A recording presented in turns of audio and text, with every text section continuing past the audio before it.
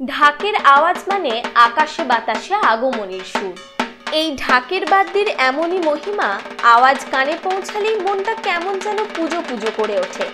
সময়ের দাবি মেনে বাঙালির সবচেয়ে বড় এই উৎসবেও লেগেছে আধুনিকতার ছোঁয়া।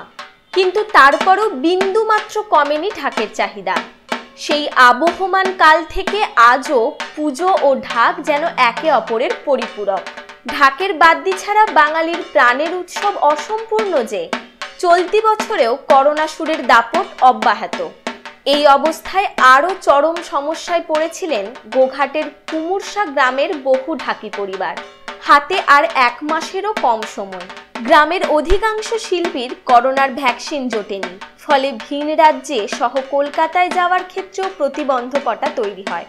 তাই বাধ্য হয়েই তারা পঞ্চায়েতে ভ্যাকসিনেশনের জন্য আবেদন করেন। আর সেই আবেদনে সাড়া দিয়ে এগিয়ে এলো স্বাস্থ্য দপ্তরও। মঙ্গলবার গোঘাটের কুমুরসা পঞ্চায়েতে ঢাকিদের দেওয়া হলো করোনা ভ্যাকসিনেশনের প্রথম ডোজ। পঞ্চায়েত প্রধান উত্তম মুদি ও তৃণমূল ছাত্রনেতা সৈয়দ আশিক হোসেন নিজেরা দাঁড়িয়ে থেকে প্রয়োজনীয় ভ্যাকসিনের ব্যবস্থা করেন। আর উৎসবের মেজাজে গ্রামে বসেই প্রথম ডোজ ভ্যাকসিন নিলেন তারা। এবার অন্তত বাইরে যেতে বাধা থাকবে না। পুজোর দিনগুলিতে বাড়তি কিছু রোজগার করে পরিবারের মুখে হাসি ফোটানোর স্বপ্ন দেখতে শুরু করেছেন কুমুরসার ঢাকিরা। তাই পঞ্চায়েতের সামনে ঢাক বাজিয়ে আনন্দ মাতলেন ঢাকিরা। ভ্যাকসিন জন্য।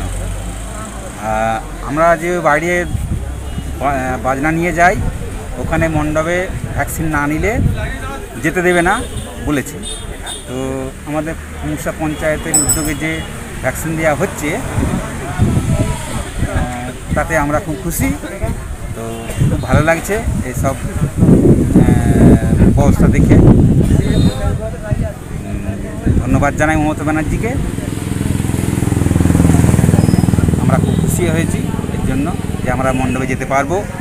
আমাদের খুব এটা না হলে অসুবিধে হয়ে যেত প্রচণ্ড।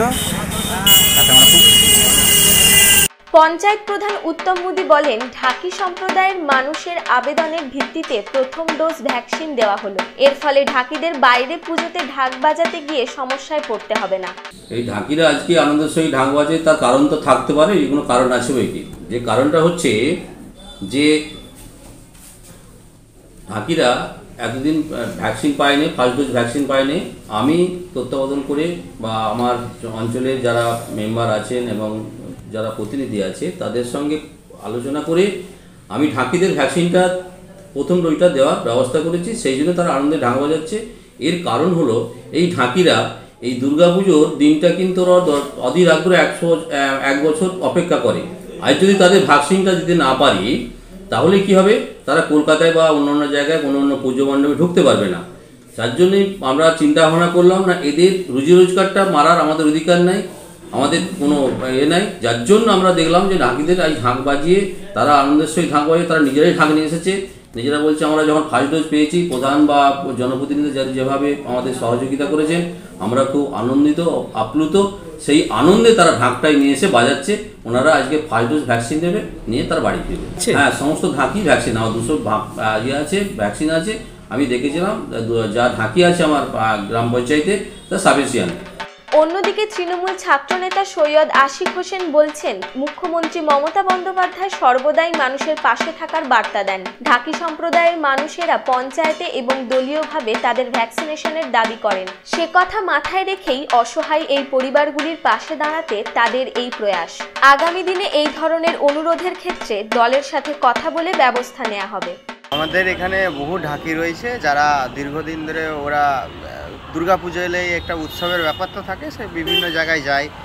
ওনাদের আবেদন ছিল যে পুজোর আগে যাতে আমাদের ভ্যাকসিনটা হয় এবং তাহলে আমরা বাইরে কোথাও যেতে পারব ঢাক ঢাক বাজানোর জন্য এবং সেদিক দিয়ে একটা ভবিষ্যৎ উজ্জ্বল হবে এবং অর্থ উপার্জন হবে বা তাদের একটা মনের মধ্যে আনন্দ থাকবে যে তারা যা, যেতে পারবে।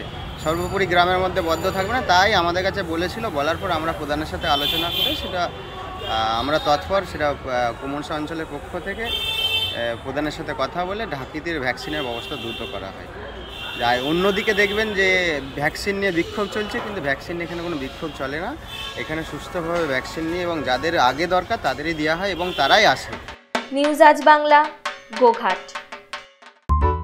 জ্যোতিষ জগতে অদ্বিতীয় ডক্টর অঞ্জন শাস্ত্রী। আপনার উজ্জ্বল ভবিষ্যতে একমাত্র দিশারি। আইআইওএইচ কর্তৃক পশ্চিমবঙ্গ রাজ্যপাল দ্বারা পুরস্কার প্রাপ্ত এখন আপনার শহরে আরামবাগ হসপিটাল মোড় আইসিআইসিআই ব্যাংকের পাশে। কল করুন seven four double seven double eight six zero double nine log on করুন W W W dot Anjan Shastri dot com